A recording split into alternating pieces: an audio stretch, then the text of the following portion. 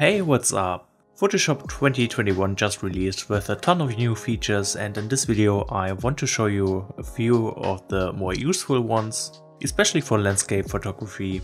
And besides those, Adobe has also added a lot of other features which may not be that useful but still are a lot of fun to play around with.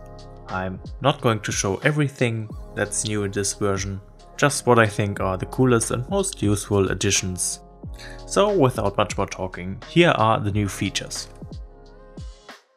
Now first of course, since it's the most important for me personally, the new sky replacement. For this, all you have to do is go to edit and then just simply hit the sky replacement button and you can see Photoshop really does a good job at replacing the sky. You can choose between different skies like blue skies, more spectacular one with dramatic sunset colors, or specific sunset skies. The great thing about this is you can also use your own skies, and I'm pretty sure I will make use of this quite a lot. Once you have chosen the sky, you can further work on the masking by shifting the edge or fading the edge. You can also make the sky a little brighter or a little darker as you like. Change the temperature to warm it up or make it colder scale the sky and you can even adjust the foreground a little bit. So let's say you can give the foreground a little more warmth or even adjust the brightness of the foreground. And once you're done, just hit OK. And the great thing about this, Photoshop still lets you adjust those separate layers and the masking. And this whole process is totally non-destructive. Also just to show you, with those little tree branches in the back, you can see how good of a job Photoshop did right here. Then next up I want to show you the new neural filters which you can find under the filter menu, neural filters. Those aren't exactly that useful for my landscape photography, but there are a few really really cool things to be found here. So here we have the featured filters with skin smoothing and style transfer, which I personally don't use, so let's go straight to the beta filters and that's where it gets interesting. First I want to talk about the depth aware haze. That's just a way to add some more atmospheric haze to your images.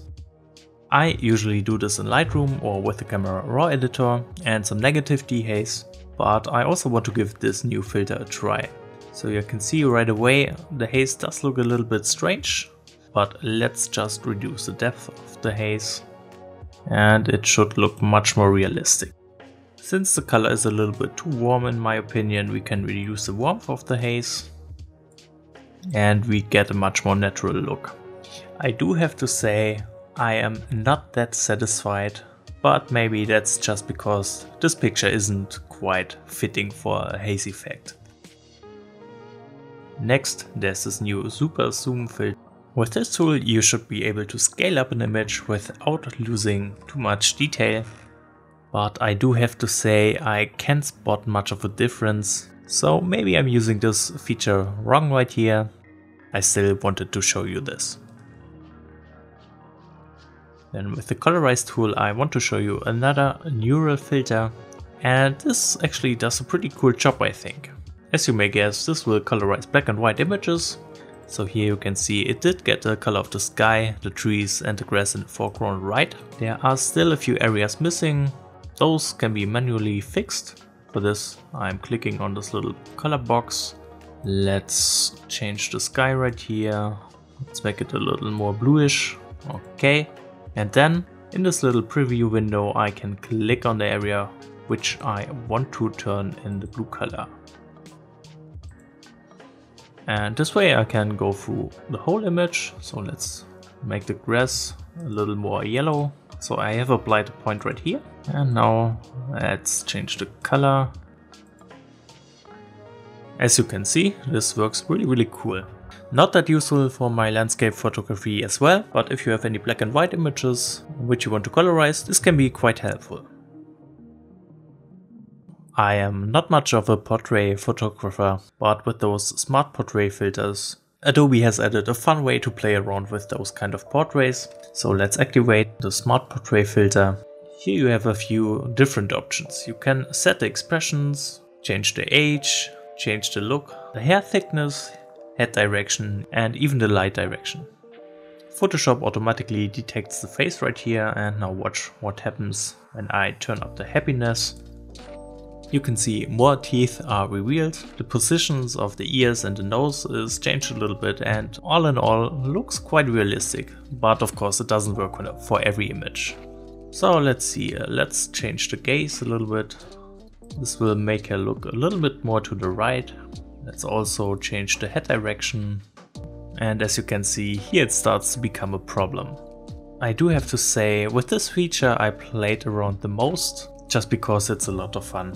And that's also the reason I wanted to show you this, although it's not landscape photography.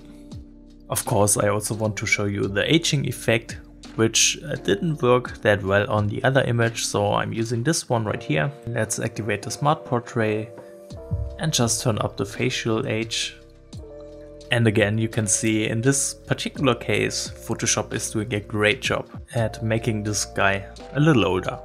So let's just for fun turn also up the happiness.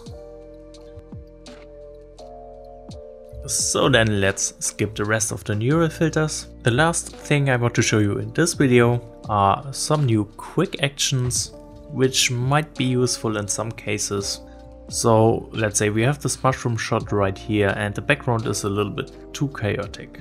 With the quick actions we can make the background a little more blurry. Therefore let's go to help, Photoshop help and here you can find those quick actions and here let's say blur the background and apply.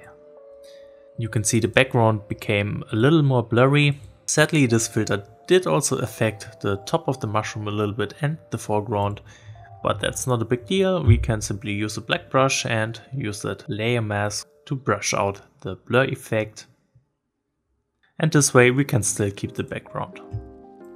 As said, not that useful for me personally, but it might be helpful for some of you. And then the last thing I want to show you with this cute puppy.